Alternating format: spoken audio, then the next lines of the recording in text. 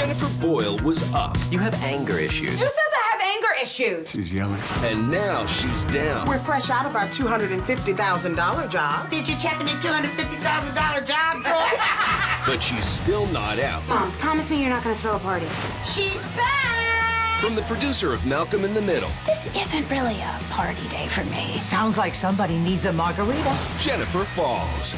No salt! Please. Coming to TV Land.